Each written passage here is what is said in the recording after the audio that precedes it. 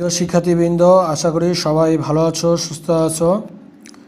তো এখানে তোমরা যেটা দেখছ, সেটা হচ্ছে তোমাদের মেন বইয়ের মানে হিসাব বিজ্ঞান দ্বিতীয় বছরের বইয়ের ষষ্ঠ অধ্যায়ের অঙ্ক।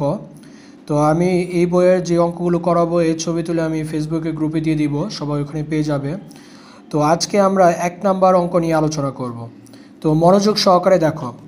এক নাচ কোম্পানি লিমিটেড এর আর্থিক অবস্থার বিবরণী নিম্নরূপ। আর্থিক অবস্থার বিবরণী দু হাজার সতেরো সালে একত্রিশে ডিসেম্বর তারিখের। সম্পদসমূহ, সম্পদের মধ্যে কি কি সম্পদ আছে? সুনাম। সুনাম হচ্ছে একটা ফার্স্ট পার্টে অস্পর্শী সম্পদ, কিন্তু সেকেন্ড পার্টে এটাকে স্থায়ী সম্পদ বলা হয়। বিনিয়োগ দশ পার্সেন্ট বিনিয়োগ যদি স্বল্পমেয়াদী কথাটা বলা থাকে, তাহলে স্বল্পমেয়াদী, কিন্তু কিছু না বলা থাকলে এটাকেও কী ভাববা স্থায়ী? এবং স্থায়ী সম্পদই ভাববা, এবং এটাতে দশ পার্সেন্টের কোনো কাজ নেই। সমাপনী মজুত পণ্য এটা একটা চলতি সম্পদ। প্রাপ্য হিসাব মানে দেনাদার, চলতি সম্পদ। প্রাপ্য বিল, চলতি সম্পদ। কল কবজা বা যন্ত্রপাতি এটা সুবিধা অনেক বছর পাবো, স্থায়ী সম্পদ। হাতে নগদ, চলতি সম্পদ। শেয়ার মালিকদের সত্ত্ব দায়ের মধ্যে আছে, ব্যাংক জমাতিরিক্ত, চলতি দায়। প্রতি হিসাব মানে পাওনাদার, চলতি দায়। ঋণপত্র দীর্ঘমেয়াদী দায়। এর দশ পার্সেন্টের কোনো কাজ নেই। নিট লাভ এটা মালিকানা তহবিলে যায়। নিট লাভ বলতে সংগ্রহিত আয় বিবরণী বোঝায়, এটা মালিকানা তহবিল। সাধারণ সঞ্চিতি মালিকানা তহবিল, শেয়ার মূলধন মালিকানা তহবিল। অন্যান্য তথ্যাবলিতে বলছে, প্রারম্ভিক মজুত পণ্য দশ হাজার টাকা, মোট লাভ তিরিশ হাজার টাকা নিট লাভ পনেরো হাজার টাকা এবং নিট বিক্রয় এক লক্ষ টাকা। এ হচ্ছে প্রশ্ন। মানে প্রশ্নে আমরা কি কি পাইলাম? যদি আমরা আরেকটু দেখি, তাহলে আমরা সম্পদের মধ্যে আমরা সম্পদের মধ্যে কি কি পেলাম? সুনাম, স্থায়ী সম্পদ। দশ পার্সেন্ট বিনিয়োগ, স্থায়ী সম্পদ। সমাপনী মজুত পণ্য, চলতি সম্পদ, প্রাপ্য হিসাব মানে দেনাদার চলতি সম্পদ, প্রাপ্য বিল, চলতি সম্পদ, কলকব্জ, যন্ত্রপাতি, স্থায়ী সম্পদ। হাতে নগদ, চলতি সম্পদ। শেয়ার মালিকদের সত্য দায়ের মধ্যে আছে ব্যাংক জমাতিরিক্ত চলতি দায় প্রতি হিসাব মানে পাওনাদার চলতি দায়। দশ পার্সেন্ট ঋণপত্র দীর্ঘমেয়াদী দায়। নিট লাভ, এটা মালিকানা তহবিল কেন? কারণ সংগৃহীত বিবরণী বা নিট লাভ একই কথা। সাধারণ সঞ্চিতি মালিকানা তহবিল, শেয়ার মূলধন মালিকানা তহবিল। আর অন্যান্য তথ্যাবলিতে বলছে প্রারম্ভিক মজুত পণ্য, মোট লাভ, নিট লাভ এবং নিট বিক্রয়। করণীয়, কতে কী কী চাইছে? চলতি সম্পদ। চলতি সম্পদ আমরা কয়টা পেলাম? একটু দেখো।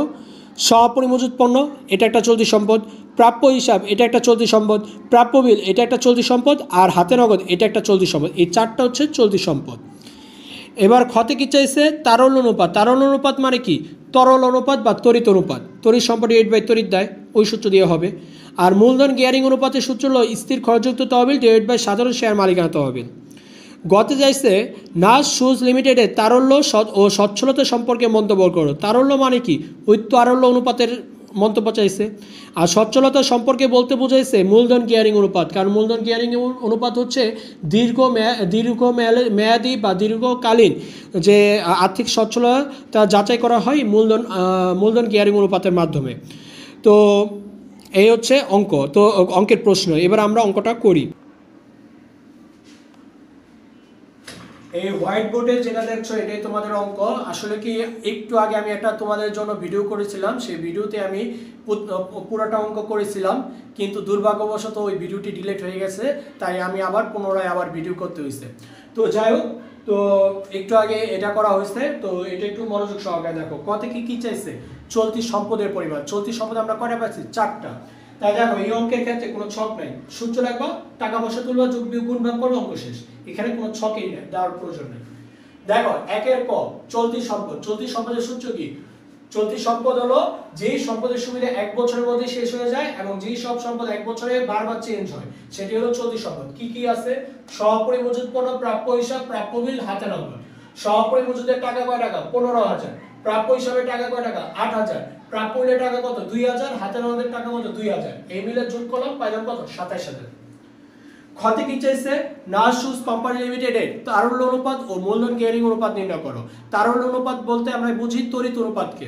তো লেখলাম তারল্য অনুপাত নির্ণয়। খ রোমান সংখ্যা এক তারল্য অনুপাত নির্ণয়। এখন তারল্য অনুপাত নির্ণয়ের ক্ষেত্রে আমাদের আরও কিছু জিনিস বের করতে হয়। আসলে কি, সেই জিনিসগুলো আমি একটু আগে করেছিলাম, পরে আবার মুছে ফেলছি। তো সমস্যা নেই, আমি তোমাদের দেখাচ্ছি, আমি একটু আগে একটা অঙ্ক পরে খাতায় করেছি, ওটা থেকে আমি দেখাচ্ছি তোমাদের এখন। এ দেখো তারল্য অনুপাত নির্ণয় তারল্য অনুপাত নির্ণয় করতে বললে আগে তোমরা যেটা করবা, আগে হলো চলতি দায় বের করে নিবা। তাহলে আমাদের অঙ্ক করতে ওগুলো করতে সুবিধা হবে। চলতি দায়ের সূত্র কি? ব্যাংক জমাতিরিক্ত কী কী আছে? ব্যাংক জমাতিরিক্ত প্রতি হিসাব, যা এক বছরের মধ্যে শেষ হয়ে যায়।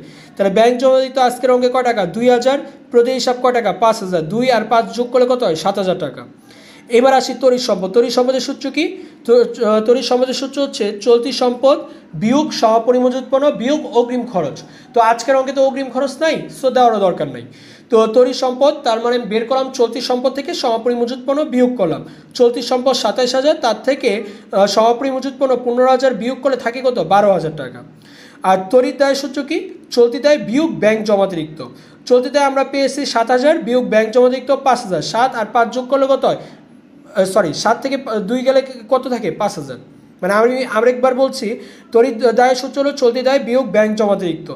চলতি দায় আজকের অঙ্কে আছে সাত হাজার, ব্যাংক জমাতিরিক্ত আছে দুই হাজার। সাত থেকে দুই গেলে থাকে কত? পাঁচ হাজার টাকা। এবার দেখো, তড়িৎ অনুপাত। তড়িৎ সম্পদ এইট বাই তড়িৎ দায়, তড়িৎ সম্পদ আমরা বের করলাম কত? বারো হাজার। তড়িৎ দায় বের করলাম কত?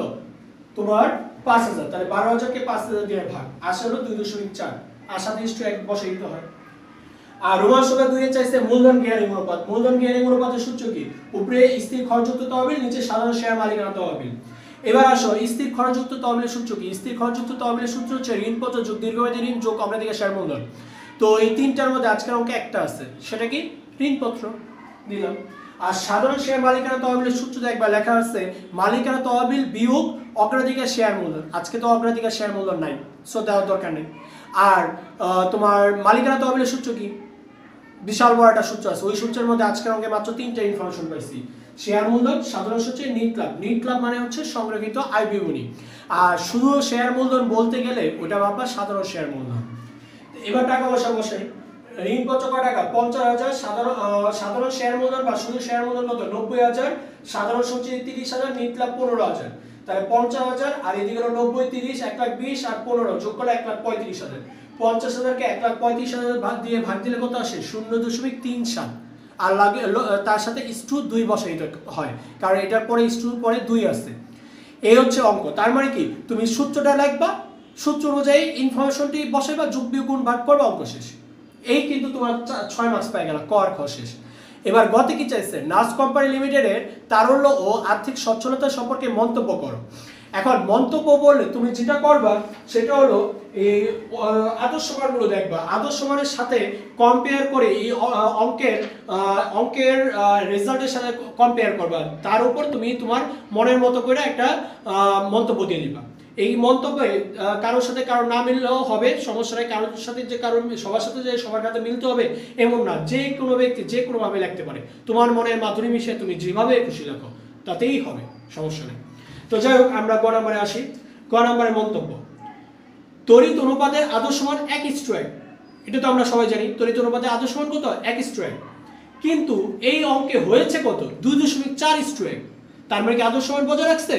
না, বজায় রাখে নি তাই লাগলাম যা আদর্শ মানের চেয়ে অনেক বেশি। হ্যাঁ অনেক তো বেশি হয়েছে। এক স্ট্রয়েকের জায়গায় হয়েছে দুই দশমিক চার স্ট্রয়েক তা তো বেশি হয়েছে এখানে এক টাকা দায় পূরণের জন্য দুই টাকা চল্লিশ পয়সা তড়িৎ সম্পদ রয়েছে।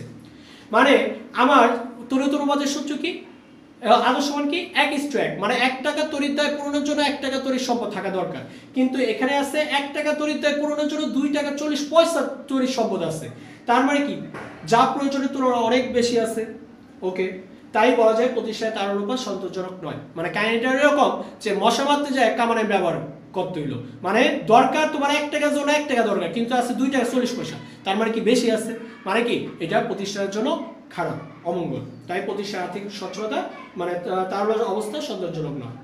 অন্যদিকে মূলধন গিয়ারিং অনুপাতে আদর্শ মানে এক ইস্টু দুই। কিন্তু এই অঙ্কে হয়েছে শূন্য দশমিক তিন সাত ইস্টু দুই, যা আদর্শ মানে বজায় রাখেনি। এটাও আদর্শ মান বজায় রাখেনি। তাই বলা যায় প্রতিষ্ঠানের দীর্ঘমেয়াদী আর্থিক সচ্ছলতা তেমন সন্তোষজনক নয়। এই হচ্ছে কথা। মানে হচ্ছে এই অঙ্কটায় তোমার আদর্শ মানের সাথে এই অঙ্কের রেজাল্ট মিলে তুমি তোমার মনের মাধুরী মিশে যেভাবেই দিবা না কেন, একটু গুছানো ভাবে দিলেই তুমি নাম্বার পাইবা।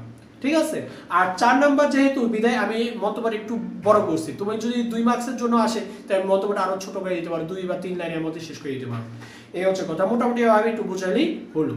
তো আজকে মূলত আমি আরও কি- কিছু সম্পর্কে আলোচনা করতাম, কিন্তু আজকে আসলে আমাদের টাইমটা অনেকটা নাই, কারণ আজকে এর আগেও একটা ভিডিও করছিলাম ওটার ভুলবশত ডিলেট হয়ে গেছে, যার কারণবশত আবার ভিডিও করতে হয়েছে, আর অন্যদিকে এখন প্রায় তিনটা বাজে দুপুর। তো আজকে এই পর্যন্ত থাক, আজকে যদিও বা ক্লাসটা অনেক, প্রতিদিনের তুলনায় আজকে অনেক শর্ট হলো ক্লাসটা এবং একটু হয়তো বা মানে আনকমফর্টেবলও হয়েছে কারণ কি বোর্ডে ওরকমভাবে অঙ্ক করাতে পারিনি বা ই করতে পারিনি সমস্যা নেই, কালকে থেকে প্রত্যেকটা অঙ্ক আমি বোর্ডে করা করে বুঝে দেবো। তো আমি একটু আগে অঙ্কটা আমি খাতাও করছি, তো ওইটারই আমি ছবি তুলে মানে ভিডিও করে করে দিচ্ছি। তোমরা যেটা করবা স্ক্রিনশট দিয়ে খাতায় করে রাখবা। আর এই অঙ্কটা আশা করি বুঝবা, কারণ সূত্র অনুযায়ী তো অঙ্কটা বসাই তো অঙ্ক শেষ। তারপর যদি কেউ না বুঝো কমেন্ট বক্সে জানাব, আমি কালকে আবার রিপিট করব। আর তার সাথে সাথে কালকে আমরা অন্যান্য অঙ্কগুলো রিপিট করব, এবং তার সাথে সাথে আমরা পরিপূর্ণ এই চ্যাপ্টার সম্পর্কে জ্ঞান লাভ করব। এবং আশা করি কালকে থেকে আর কোনো বিশৃঙ্খলা হবে না, কালকে থেকে সুন্দর মতো অঙ্কটা ক্লিয়ার করতে পারব।